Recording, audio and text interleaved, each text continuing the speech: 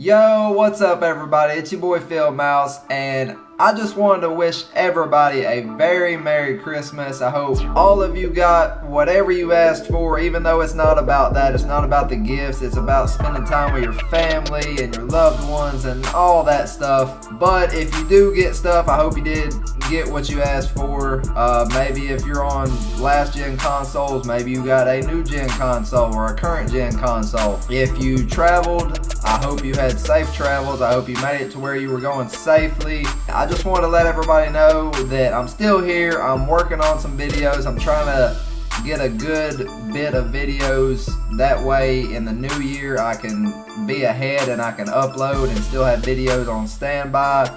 That way I can kind of upload on a consistent schedule. So that's where I've been. I'm still here, so don't worry. That's pretty much all I got for today, guys. Just have a Merry Christmas and a Happy New Year. And we will catch y'all on the next video. Peace out.